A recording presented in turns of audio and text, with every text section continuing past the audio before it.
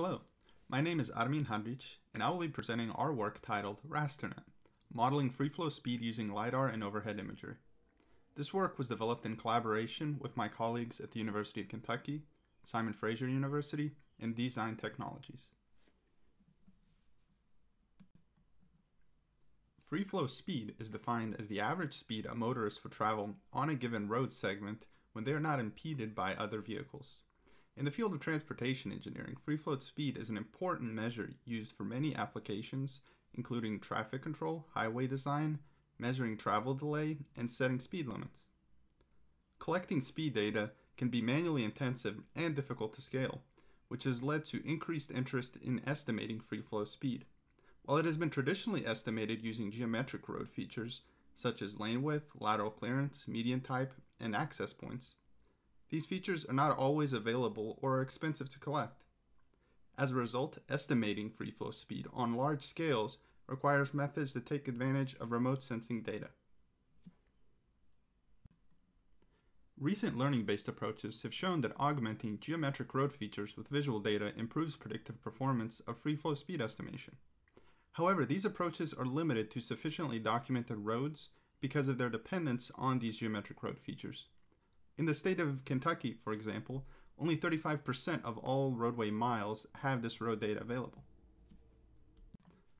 Our work addresses this problem by replacing the road geometric features with airborne LiDAR point clouds. Airborne LiDAR is not only more abundant across the state such as Kentucky, but also complements overhead imagery. While overhead imagery is susceptible to weather and lighting conditions, 3D LiDAR point clouds are robust to such transient effects, but also are viewpoint invariant and provide explicit 3D information not present in two-dimensional overhead imagery. Our approach combines both the visual features of overhead imagery and the geometric features of airborne LiDAR in a geospatially consistent manner using a multimodal neural network architecture. This method operates on all road types at large scale and can generalize to new areas. First, we constructed a large-scale free-flow speed dataset over the state of Kentucky. We extended the existing Song et al. satellite image dataset by including 3D point clouds extracted from airborne LiDAR. The speed labels were provided by the Kentucky Transportation Center, the satellite imagery by the National Agricultural Imagery Program, and the LiDAR data from the KY from Above program. Each free flow speed label is associated with the corresponding road shown at the center of an overhead image and a LiDAR point cloud. We illustrate two example roads from the dataset, an urban road on the top row and a rural road in the bottom row, both of which are depicted in a satellite image and as a point cloud.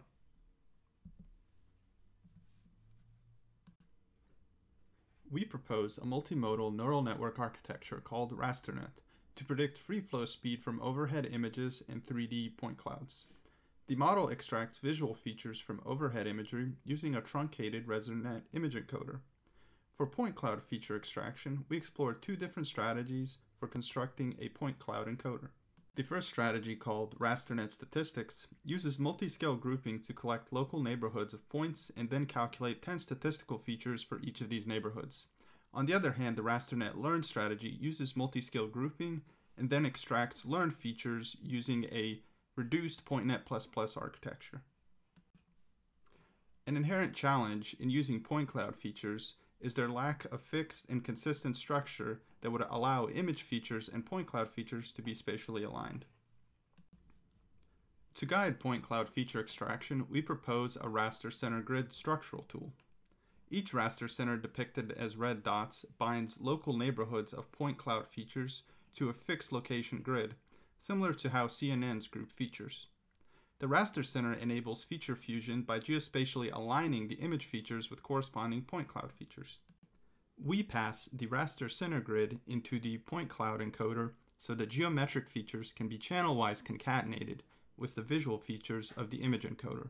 The combined features are then passed to the shared module to produce a free flow speed prediction. We evaluate our approach on a held out test set using the within 5 mile per hour accuracy metric established by Song et al.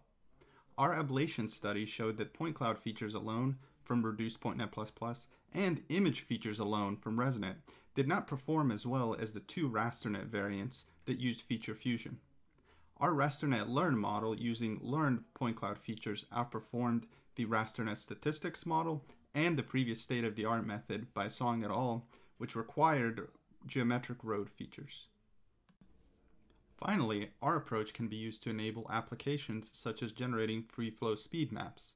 The depicted free flow speed map illustrates the free flow speeds of roads from the city of Lexington, Kentucky, where the low speed urban center in teal is clearly distinguishable from the high speed highways in red.